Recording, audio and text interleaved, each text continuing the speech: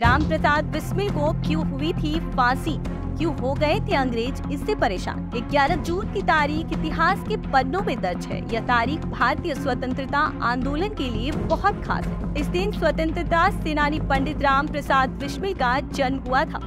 11 जून उन्नीस को जन्मे राम प्रसाद बिस्मिल उत्तर प्रदेश के शाहजहांपुर ज़िले के निवासी थे। उन्होंने अंग्रेज़ों के खिलाफ इस कदर आंदोलन किया था कि पूरे देश भर में ब्रिटिश हुकूमत के खिलाफ विरोध की आंधी भड़क चुकी थी। राम प्रसाद बिस्मिल के मन में बचपन से ही ब्रिटिश हुकूमत के खिलाफ नफरत भरी हुई थी। वह किसी भी हाल में अंग्रेज़ों को भारत से भगाना चाहते थे। इस नफरत को उन्होंने क्रांति के रूप में उपयोग किया।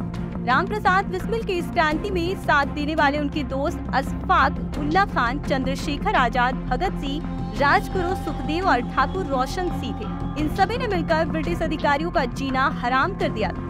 इन क्रांतिकारियों ने सरफरोशी की तमन्ना अब हमारे दिल में है। देखना है ज़ोर कितना बात हुए का दिल में है। का नारा लगाते हुए हर एक युवा के मन में क्रांति की अलग जगाई। इन्होंने अपने साथियों के साथ मिलकर काकोरी कांड को अंजाम दिया और 9 अगस्त 1925 करीब 15 क्रांतिकारियों ने ब्रिटिश सरकार की खजाने स्टेशन पर लूट लिया।